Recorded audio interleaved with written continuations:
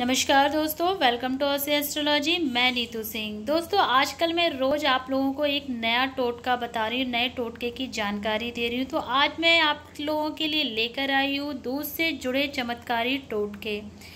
तो चलिए जानते हैं दूध से जुड़े चमत्कारी टोटके जो दिलाएँगे सफलता, धन, यश।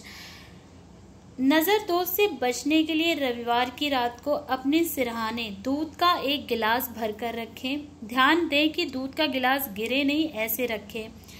और सुबह उठकर किसी भी बबूल की पेड़ की जड़ में डाल दें। ऐसा हर रविवार को करें। कितनी भी बुरी नज़र क्यों नहीं लगी होगी, वो उतर जाएगी। अगर किसी व्यक्ति का बार बार एक्सीडेंट होता है तो क्या करना है?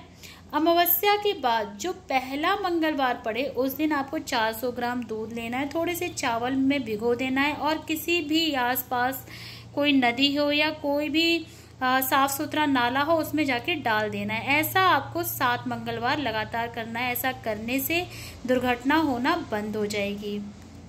अगर आप चाहते हैं कि आपके घर में हमेशा के लिए लक्ष्मी निवास करे अचल चल संपत्ति आपको मिले तो क्या करना है कि आपको एक लोहे के बर्तन में पानी लेना है, उसमें चीनी, घी, दूध मिला लें और पीपल के पेड़ के जड़ में डाल दें। ये आपको शनिवार से शुरू करना है, लगातार 45 दिन तक करना है। ऐसा करने से आपके घर में अचल संपत्ति का वास होगा।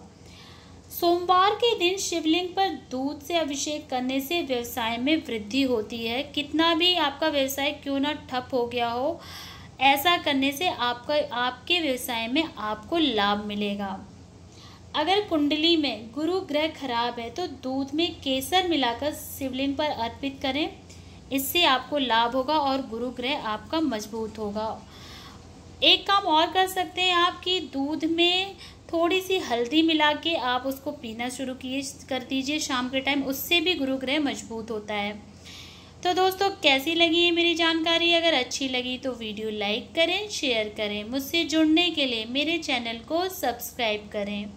फिर मिलेंगे। जय माता दी।